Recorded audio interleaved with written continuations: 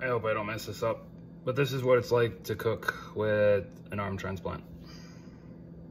First, gotta grab stuff using my right hand because my extensors, the hand, the part that extends your fingers on my right hand are better than my left hand. Next, I'm gonna do bacon eggs.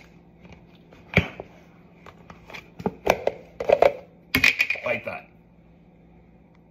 Bacon's going in the cast iron behind me. Can't really see it, but now I gotta grab a little pan using my left hand. I lied, I'm using my right hand.